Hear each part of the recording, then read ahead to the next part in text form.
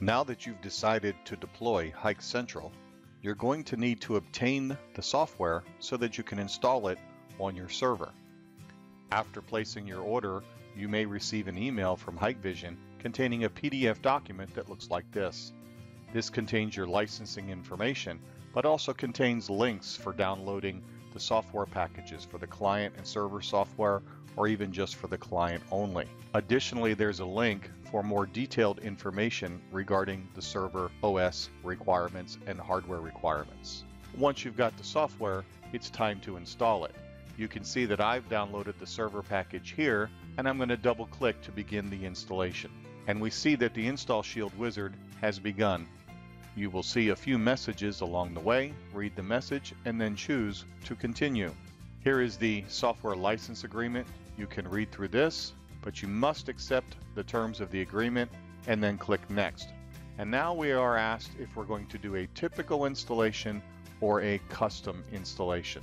If you read the text, it says a typical installation, most modules will be installed, including video surveillance management services and control client. Under Custom, you get to select which program features you want to install. This would be recommended for more advanced users.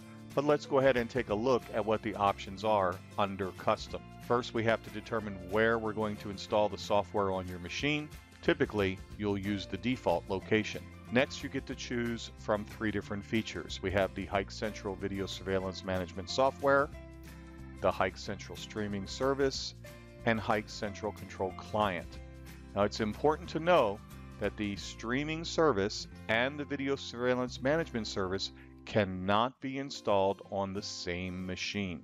So if I was installing the HikCentral streaming service and I select this, I would need to deselect the surveillance management service.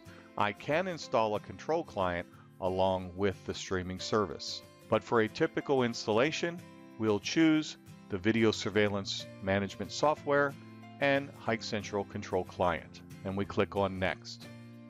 We're ready to install the program. This will be a normal installation, but it's possible that this could be a mirrored hot spare or a shared storage hot spare. These are more advanced deployments.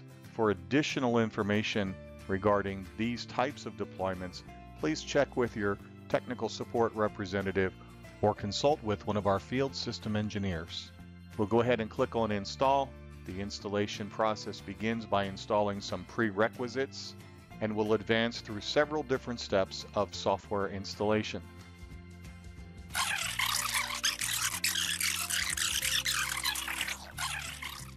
Well, that only took about four minutes.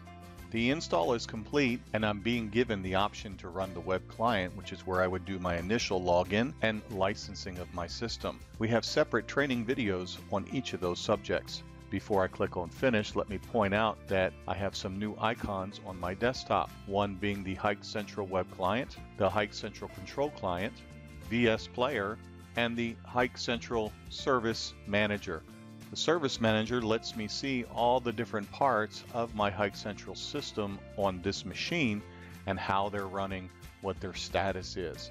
If I had to do any changes to the network environment, then I would actually need to come in and stop or restart all of those services for those changes to take effect. I can also see other critical information such as the currently assigned port numbers, which are all at their defaults at this point.